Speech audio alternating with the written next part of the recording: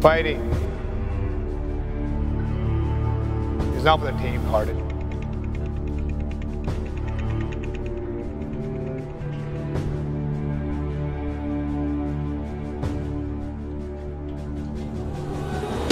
The second round, the third round, his nose is broken, his ribs cracked. The guy has beat the living crap out of you.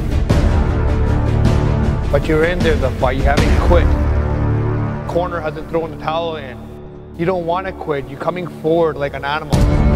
Trying to bring that win back, trying to bring that W to your house. The guy's got you mounted. You gotta dig deep with something that you don't even know you had.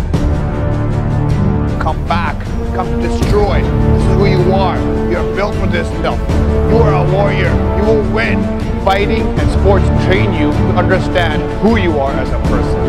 Champions are motivated. Champions do not show fear. Champions are humble in defeat.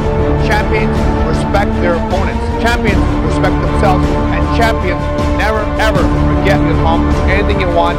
Always put your mind to it. You are the champion warrior. You are the champion.